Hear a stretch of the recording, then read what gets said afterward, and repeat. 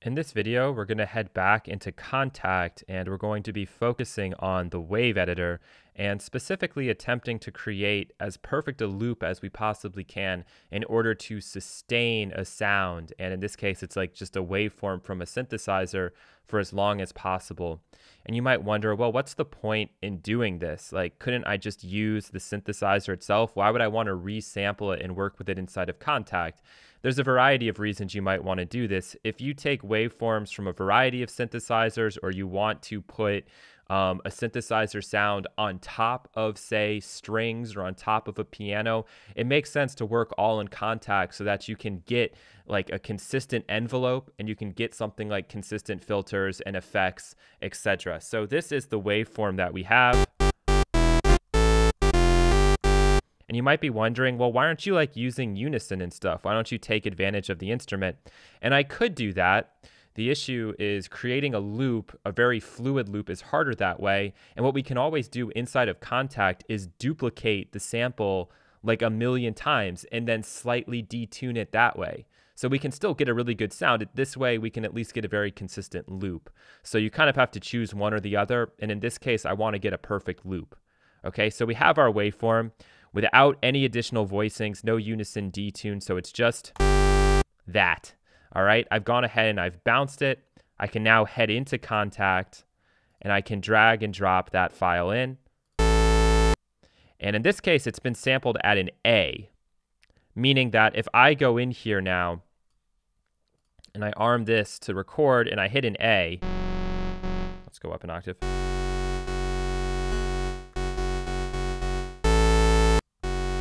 we can hear that it's actually not tracked properly, right? It's actually lower than it should be. So what I'm going to do is I'm going to go ahead into the mapping editor first thing and make that adjustment. Okay? So instead of having this be C3, it's really like, I don't know, it's probably more like A1.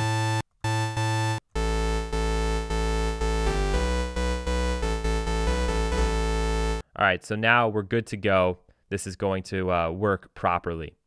The next thing I need to do is go into the wave editor because as you're hearing, if I play this note, when it gets to the end, it just gets to the end. So we need some sort of a loop if we wanted to do something like create a pad sound.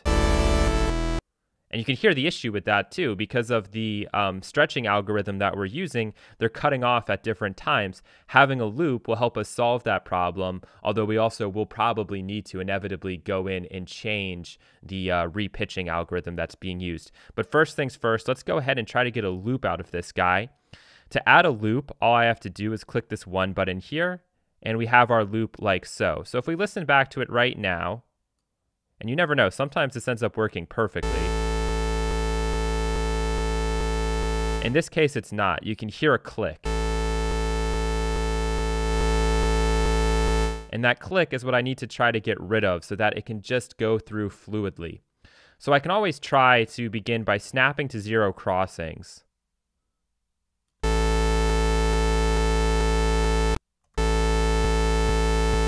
But very rarely do I have any success with that. So I'm going to actually turn that off. And instead, I'm just going to do this manually.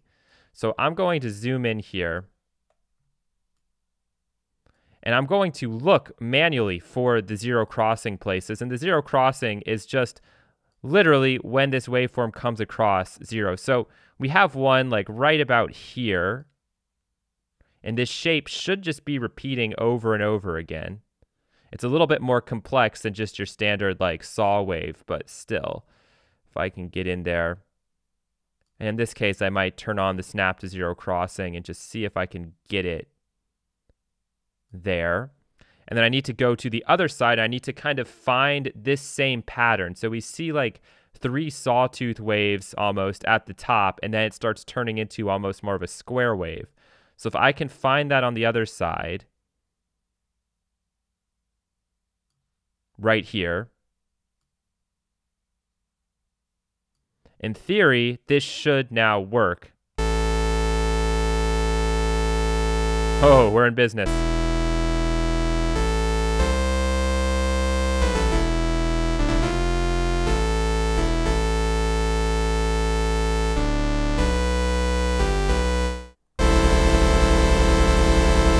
So even playing like multiple notes at the same time seems to now like help. We're not getting any clicks. It's not noticeable that the sounds are cutting off or at a different time. So we're pretty much good to go. And I could go back now into like my instrument options. Whoop, sorry about that. Wrong thing. Just go back to my main instrument panel. And I could go and I could look at the modulator for this guy, head down to the ADSR. We could create now more of like a pad sound if we wanted to.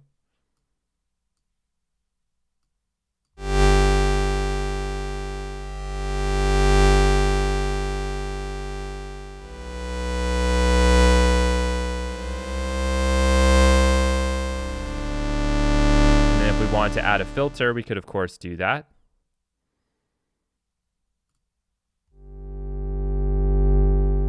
And let's just go and put an LFO on this guy. And let's go with a whole note here. So it's going a little bit too far, so we need to go back to that down.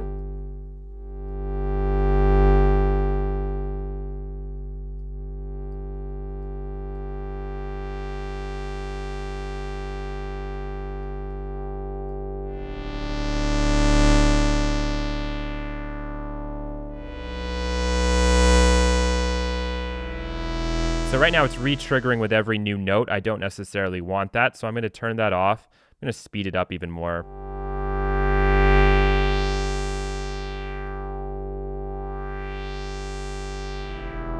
So let's actually go in here and change this to be a half note. And we can also add some fade to this too, so that it's not going to be as noticeable at the beginning.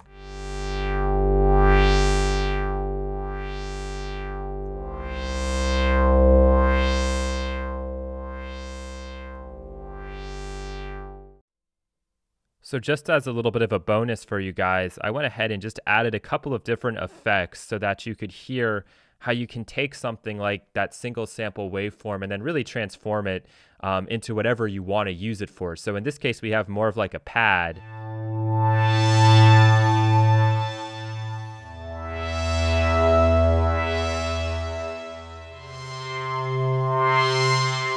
But we could have just as easily created a bass sound or a lead sound or whatever. But this is the method that you use to get the sample in there. Effects processing, you know, that's something we've covered in the earlier courses and something that we'll cover in later courses when we do more sound design specific stuff. But anyway, we're good to go. That's working with the wave editor, creating that perfect loop so that you can create, you know, basically a subtractive synthesizer using samples.